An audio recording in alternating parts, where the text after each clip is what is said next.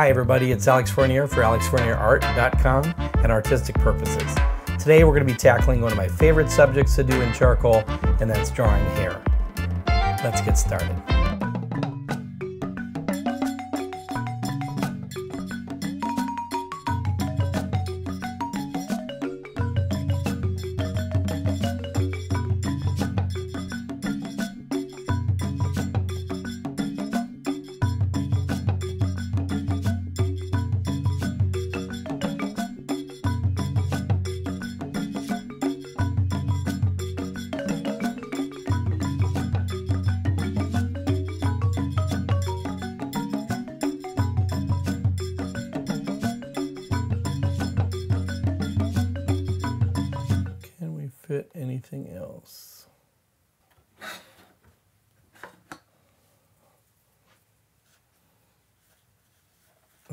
Can we do short hair over here?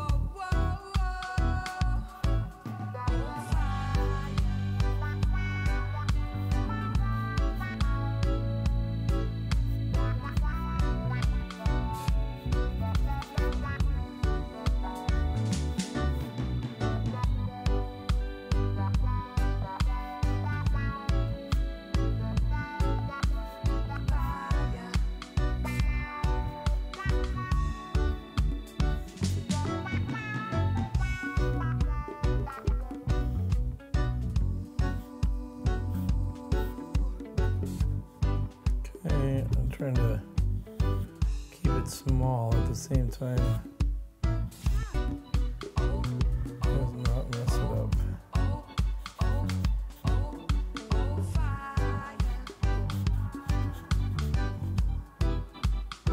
Okay, so in this case, what's what's fun about it is that it's backlit, right? And that's part of what I want kind of to do with it.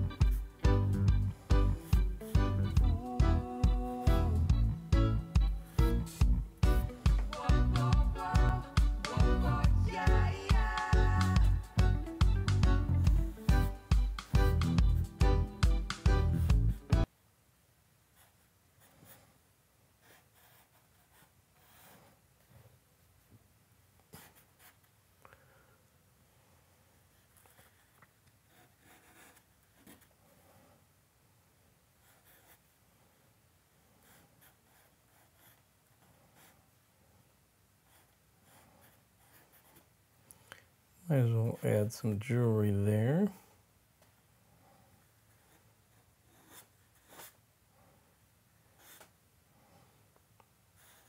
Okay, so I'm trying to be real light on the top because that's going to be backlit.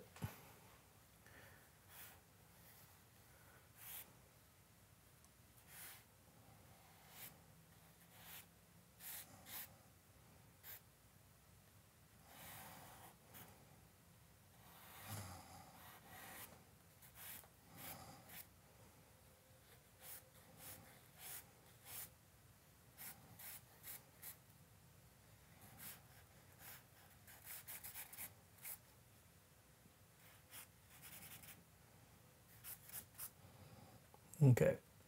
All right, so we've got our our eyes.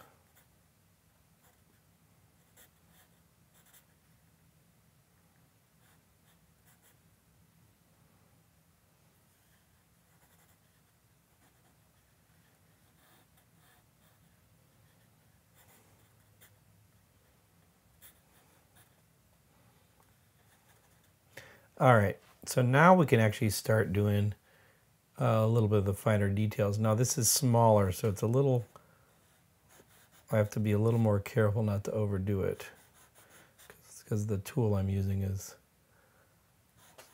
so big compared to the actual the actual drawing.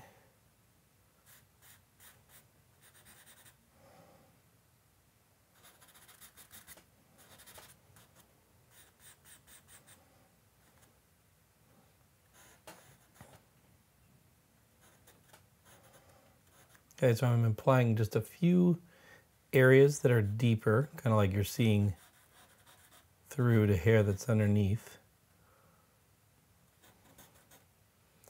But trying to keep a highlight under here and then a highlight over the back of it. Okay, and just define this one.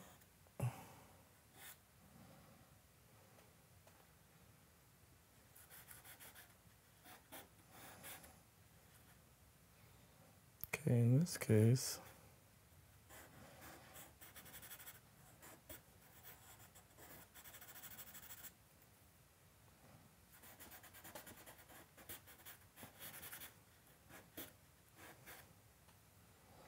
okay.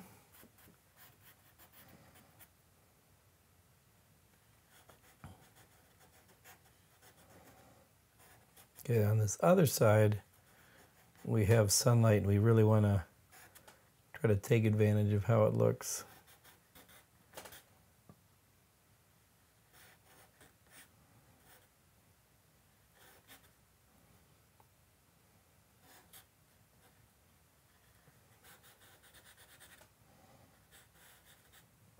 Okay, it's almost like it's it's been blowing around in the wind. It's popping over the ear here.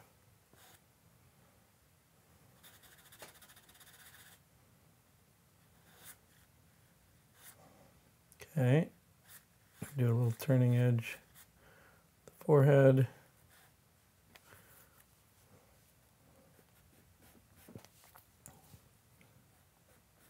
Yeah, so so backlit or edge lit poses are some of my favorite because you get to play with this these contours on the edges. They can make the face look like chiseled. Okay, and then if you've seen the other video of how to draw bounce, that's what we're doing down here. So there's a core shadow, and I'm emphasizing that there's a bounce light under the chin, getting some of this light. Okay, and then trying to define by shape some shadows. We don't want them to just go all over the place.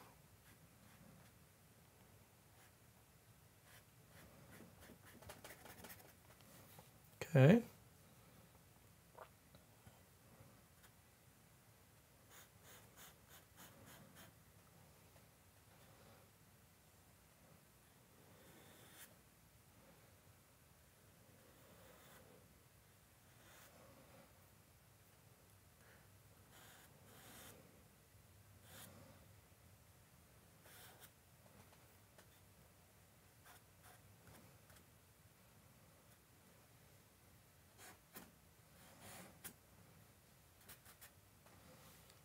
Okay, so that's looking pretty good.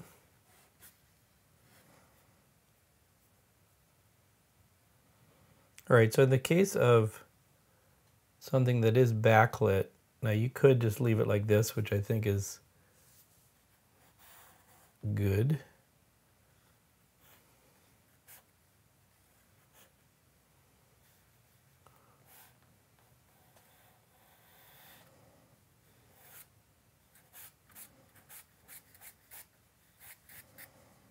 Okay. You could also give a little bit of tone.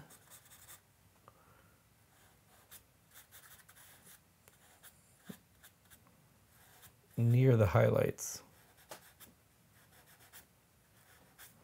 leaving gaps that are just just light so it, it looks like it's it's alive that the actual light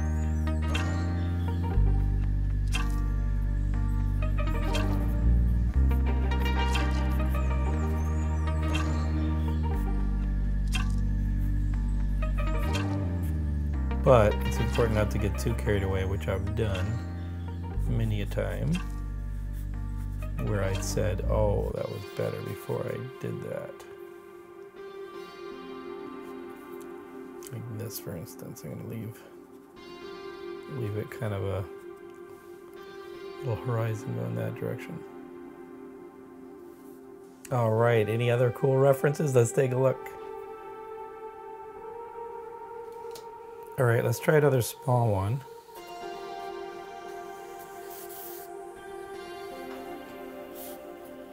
And I'm to try to draw the shape of the hair first so I, so I have less likelihood of going out of the scale, although no guarantees.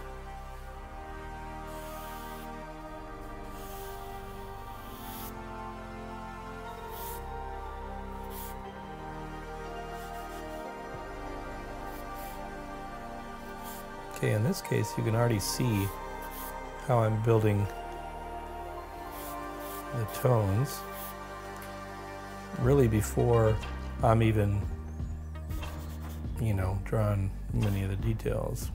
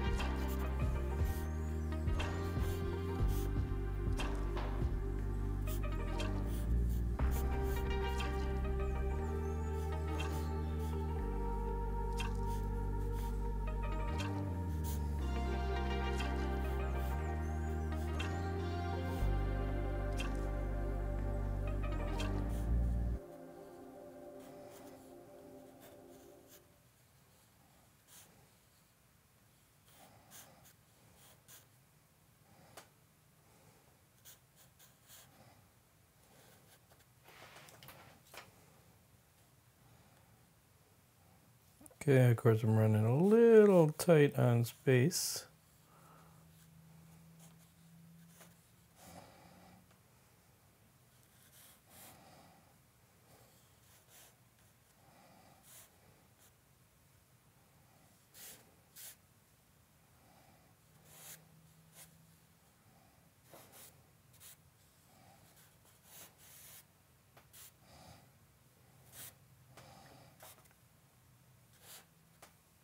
Okay, so let's say I've got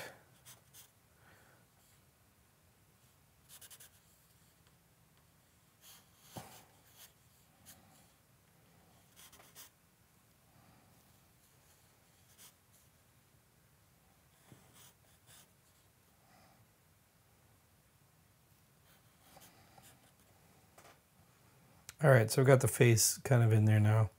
And you can see these bangs are already defined from the from the shading part. So now I just have to kind of get the edges. Okay. Over here.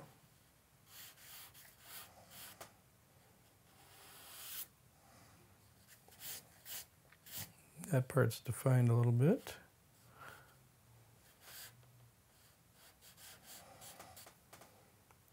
Okay, what do we got going on over here?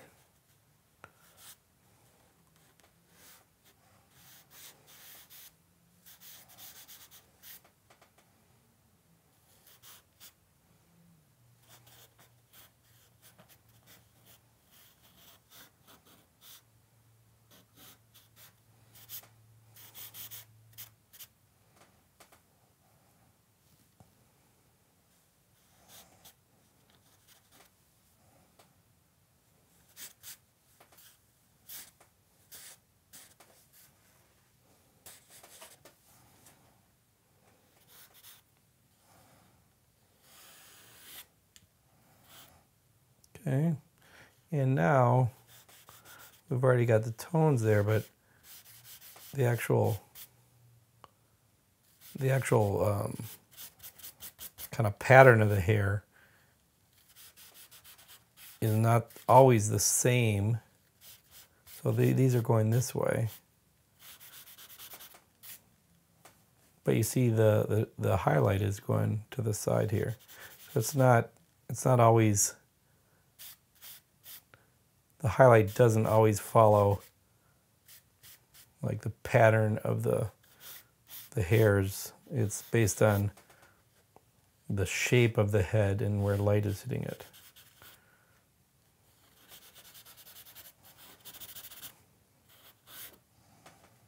Okay, up here, I'm going to darken this up.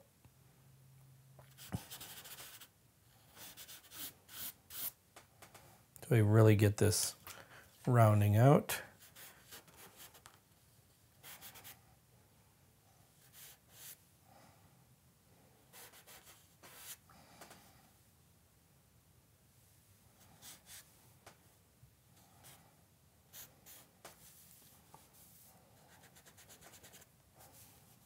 Okay, and shape of this face a little hard. I'm kind of sitting on the corner here trying to get this this right.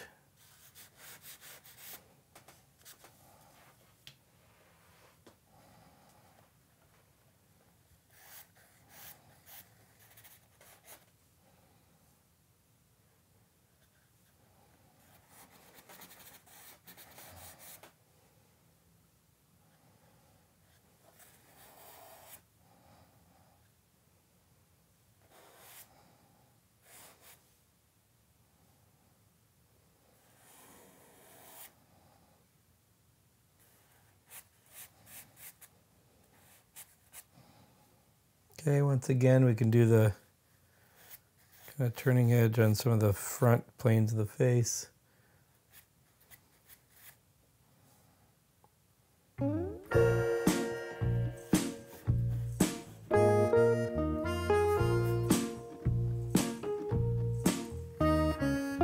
Okay, let's see if we can get any additional highlights in here.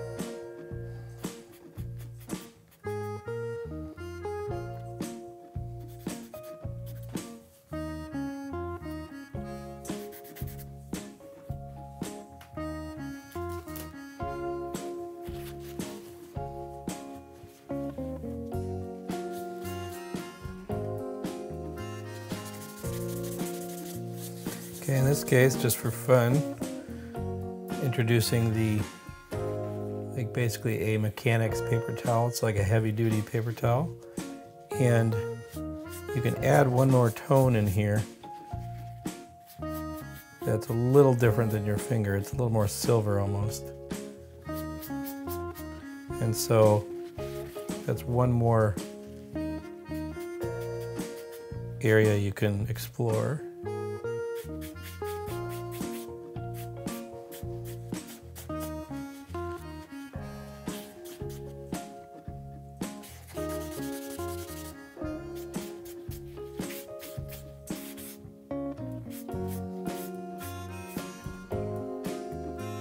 All right, there's a bunch of hair drawings all over the page. We filled the whole page up. Uh, I like how these these different types of hair are treated differently, right? It's the same tool, same technique, but you see different types of hair react to light differently. Different styles do different things. They curl differently. So we've got this kind of up hair. We've got kind of billowy, fluffy, curly. This is darker. You've got this with these uh, bangs right here and a lot more shine to that. You've got the braids over here. And then over here, one of my favorite types of lighting is backlighting and edge lighting. So you have this where the highlights from the sun are really causing the halo behind the person. Like an edge light, like in film. All right, thanks for tuning in. Be sure to like, subscribe, go to my website, alexfournierart.com. Look out for more content and feel free to leave any comments if you have ideas of what kind of subject matter might be fun to tackle. All right, have a great day.